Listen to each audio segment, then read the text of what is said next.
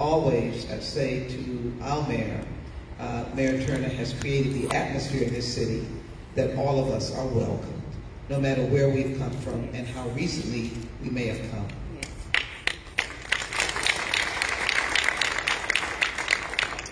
It's good to see Pastor Samuel in World Outreach Church, uh, my church. Uh, and uh, it certainly is good to see so many members.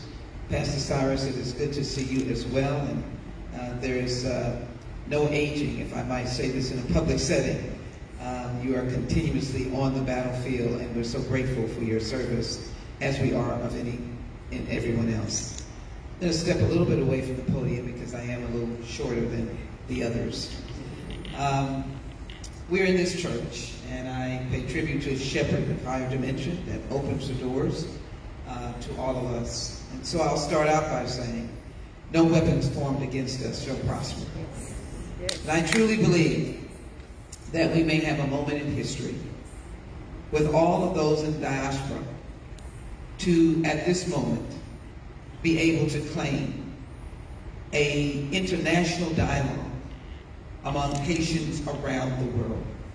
Can you imagine the raising of voices of Haitians from Europe to Africa to South and Central America to the Caribbean uh, to all of the parts of this nation? I've had members of Congress who proudly stand up and say that they have the largest number of Haitians in their district.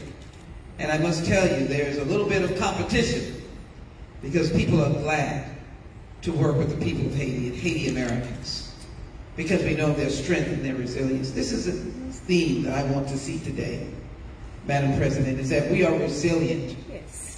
and that we cannot be denied. That your heritage is one, a warrior, but a peace. For when America needed you, you stood for us. That is what we must never forget. So first, I want that international dialogue, of which I hope that you will join with your fellow Haitians, to say, let us speak. Let our voices be heard. And then in that dialogue, I wish for credible, fair, and democratic elections. In 2021, many of you know I'm the author of H.R. 40, the Commission to Study Slavery and Develop Reparation Proposals. By the way, it does not stop at the water's edge.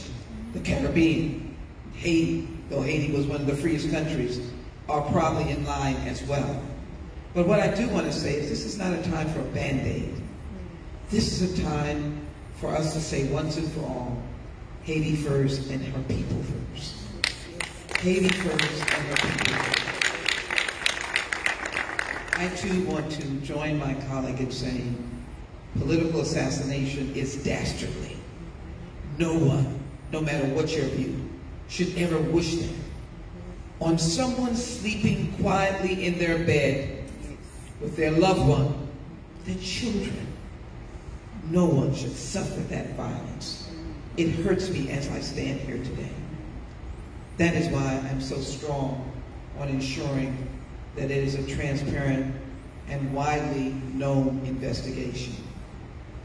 And I really am not fearful because I don't in any way believe any condoning of such, no matter who the operatives may find, wind up being, mm -hmm. that we in the federal government were a part of anything of that sort. But as you well know, we need the truth. And if operatives have been around, no matter where they are, in Haiti or outside, we must know the truth in order to be set free. I finally want to say what a beautiful partner and First Lady Mrs. Moise was or is. Mm-hmm.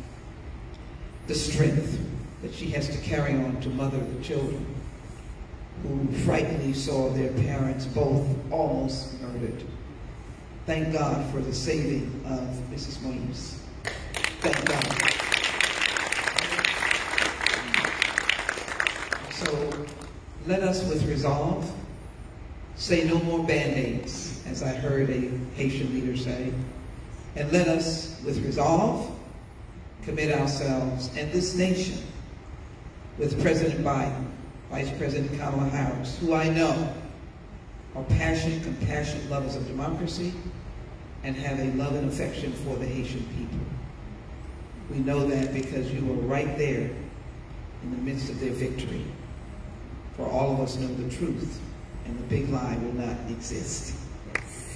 So we must go forward on that, and I will join in your hands to say that we will not break our chain until the great day of Haiti's victory.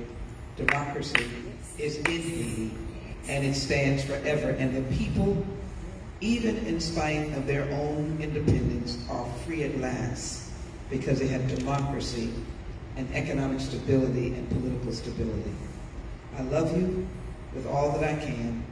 No weapons formed against us shall prosper.